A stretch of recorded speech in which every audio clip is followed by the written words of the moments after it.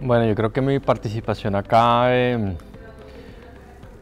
ha sido muy importante a nivel personal porque me ha hecho em, pensar e indagar y profundizar más en los temas que, pues, ya veníamos trabajando con, con, todo el proyecto de siembra de bomba estéreo.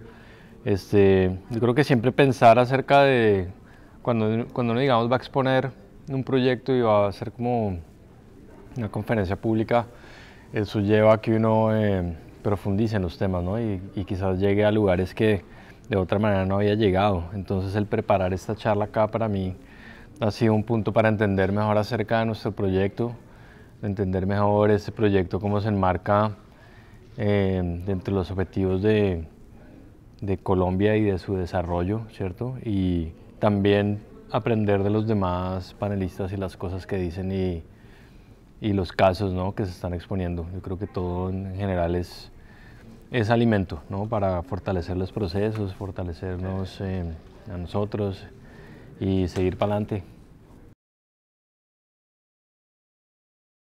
Yo creo que la comunidad eh, colombiana que está en el exterior, que es mucha, hay colombianos por todo el mundo, obviamente acá en Estados Unidos más por la cercanía, etcétera.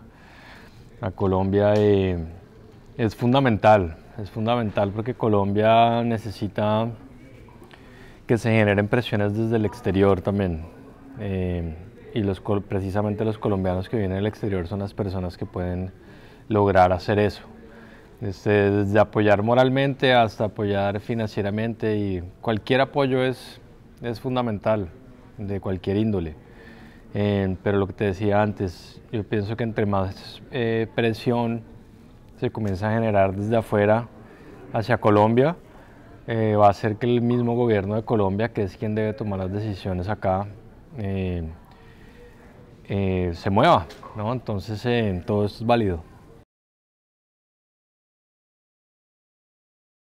Me parece interesante la diversidad que hay, como el diálogo que, es, que está propuesto. Hay gente de toda índole, pues estoy yo que soy un músico, está un expresidente, ¿no? hay gente de movimientos ambientales, hay gente de comunidades minorías, este, hay gente de industria, ¿no? entonces es un diálogo como interdisciplinario y finalmente esos diálogos son los que realmente llegan a, a lograr cosas, ¿no? cuando se unen distintas disciplinas trabajando como hacia un mismo fin. Eso es lo que, lo que deberíamos lograr hacer en Colombia, que nunca se ha logrado, que es como unir fuerzas desde distintos ámbitos. Y ahí en el momento de unir esas fuerzas que realmente se logran los cambios.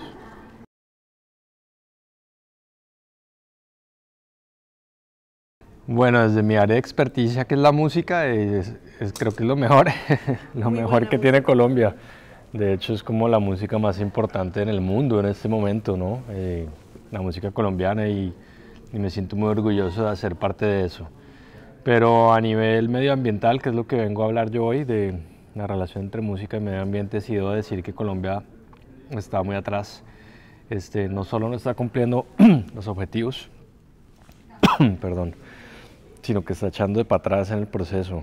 Entonces hay que hacer cosas, porque realmente no, lo que está sucediendo en Colombia a nivel medioambiental es muy grave, es una catástrofe, es una emergencia y si no se toman acciones ya en un futuro va a ser irreversible porque la naturaleza, a pesar de que ella misma se regenera, hay veces que después de tanto y tanto palo que le damos no se va a regenerar más, entonces eh, hay que tomar acciones ya y para eso estamos acá hablando y para eso estamos compartiendo las ideas y ojalá esto repercuta de una u otra manera en, sobre todo en un plan de desarrollo en el que estamos en el actual gobierno.